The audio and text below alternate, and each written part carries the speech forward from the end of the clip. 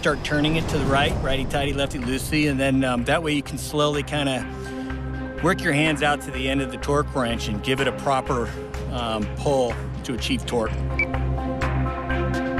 So we're up on pretty much the apex of the Fury 325. Typically, roller coasters are inspected with a boom lift because it's easy and smart. But everything above a certain height is pretty hard to get a boom lift in. So that's when they call in rope access. So what we're doing is we're taking care of all the high stuff for the inspection and bolt torquing that a boom lift can't reach.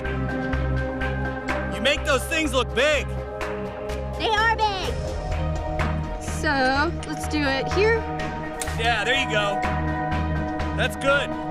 Haley makes her way around, torquing bolts as she goes. Matt and I are keeping an eye on her from up top. Doing all right, Haley? Dude, I like it. It's cool to be able to see it. Awesome. That's what I like to hear. That's not something everybody can do. You're a natural. It is bomb diggity. Come on. Did I hear a click? There it is. Looks good on the torque spots there.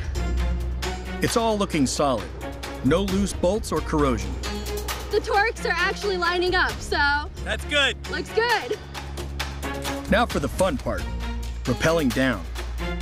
It's just neat to be able to play around on an amusement park when nobody's here. It's like every kid's fantasy.